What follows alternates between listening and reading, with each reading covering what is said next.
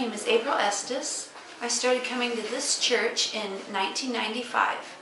It was in August, whenever there was the Vacation Bible School. I came with my kids on the last day, which was a Thursday, and I went up to the altar and I got saved that evening. I've been coming ever since. I did have a little bit of a time where I didn't come, like I had a baby and I didn't come back for a little while. But then when it was uh, the 9-11 disaster, uh, that really scared me. And so I ran to my Bible and I read and read and read and didn't really understand too much of it, but I got out of it what I could. And I started coming back to church pretty faithfully.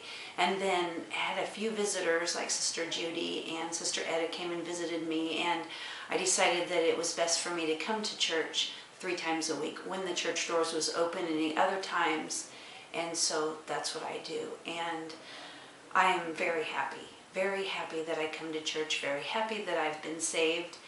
And I'm trying to live for the Lord and to witness to people. And I read my Bible every morning. And um, no, no, it's, it's just, I can really see the Lord working in my life.